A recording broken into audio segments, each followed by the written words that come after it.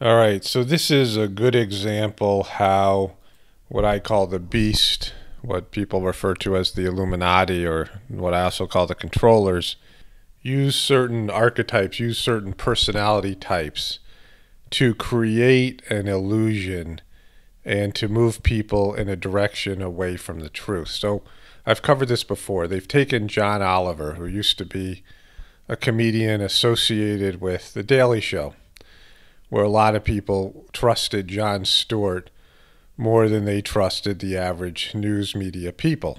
There is a certain artificiality with the the major news networks and their anchor people. They just you know they're just sort of like models that read news. They don't have much of a personality. They don't have much of a of a rapport with people. And since the media has been caught lying, there's just, just there's a disingenuous nature to them. And you have a lot of people who are a little bit smarter than the average people. Maybe they're a little bit irreverent and so they don't trust the news. So then they have this secondary system where they have comedians who are people who speak truth to power. So you have a lot of young people, a lot of people who are a little bit more intelligent, especially if they're on the left, who like these irreverent type of comedians who seem more real and genuine to them. And they seem like they wouldn't sell out because they have bad attitudes and you know, they seem like they have some integrity or whatever. And when these comedians get outraged, that means that there's something really wrong. So, and they will be more trustworthy. People think consider them more trustworthy than these news anchors that just sort of read the news with no personality.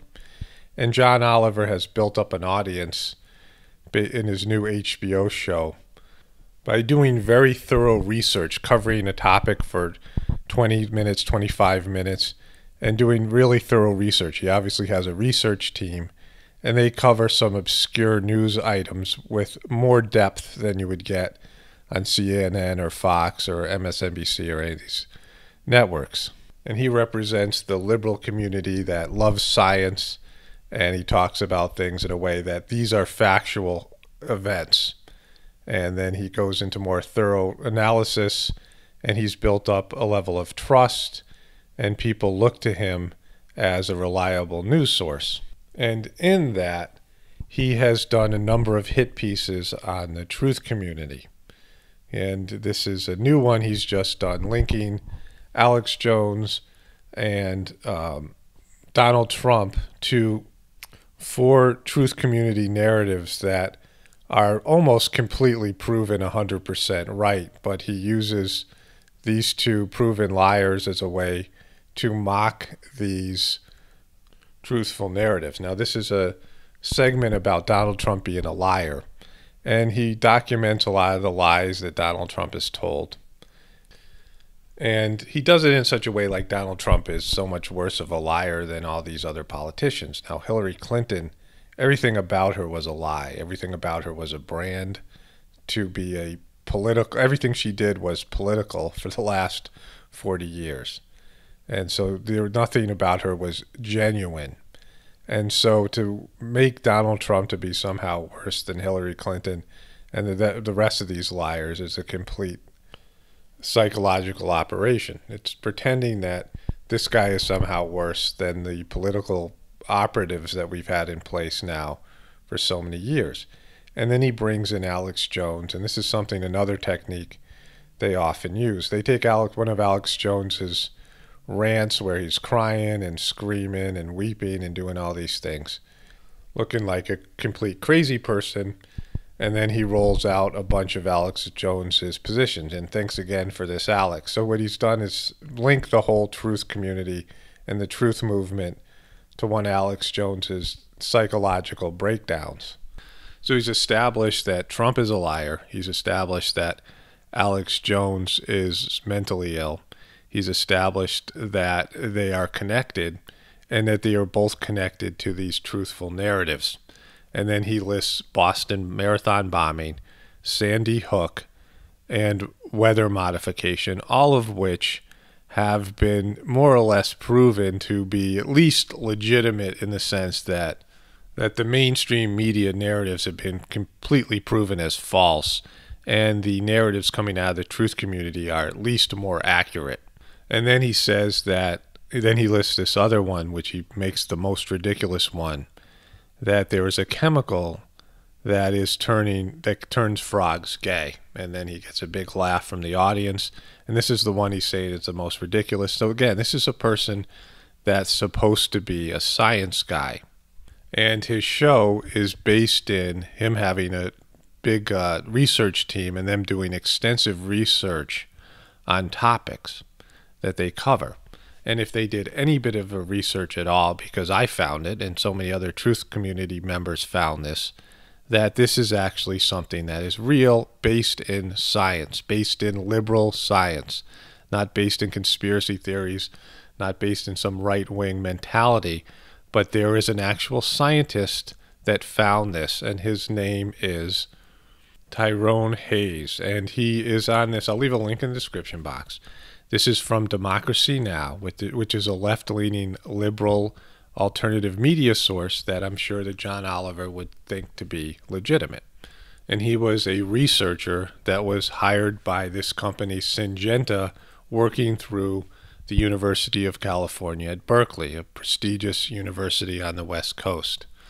Because these chemical companies have to hire independent researchers. And he started to do research on their uh, chemical atrazine, which is used as a pesticide in parks all around the country.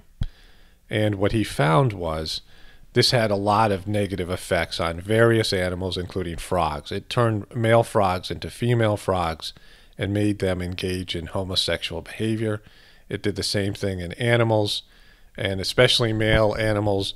It did things to reduce their testosterone level, make them have micropenises and non existent reproductive organs. It was just brutal. And this chemical has also been banned in Europe and various other places based in science, a place where John Oliver originated from. And when he started to produce, produce these results, Syngenta put pressure on California Berkeley. The guy was fired, harassed, and threatened by thugs and all these types of things. This is a scientist. This is his story. And this is a liberal news media network where he's telling this.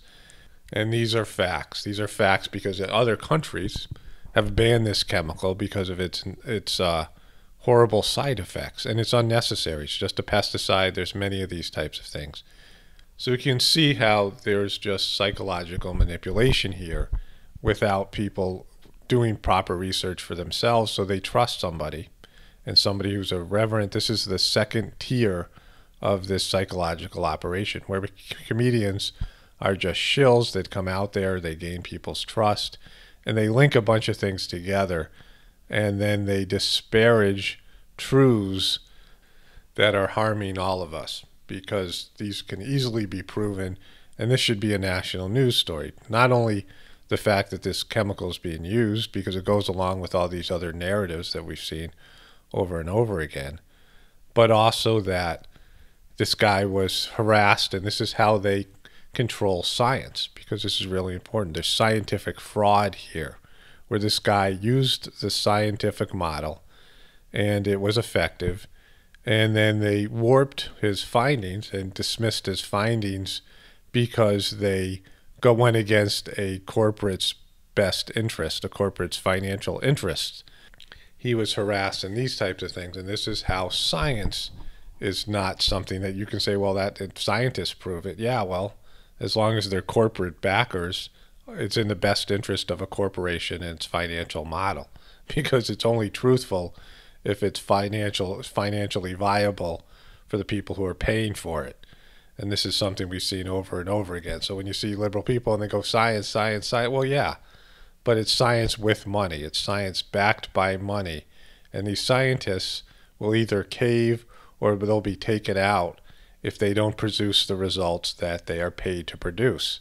And so science should never be considered facts. It's not facts. Science isn't factual. In fact, there's problems with the scientific model. Mistakes are made. A lot of it is theory. And then it's the corporate backers who produce the, the results. The results you see have to be backed by somebody with money. And so that's not factual. That's something where people are manipulating material research, scientific research for financial gain. All right, so this is Paul Romano reporting from the apocalypse. Everybody have a blessed day.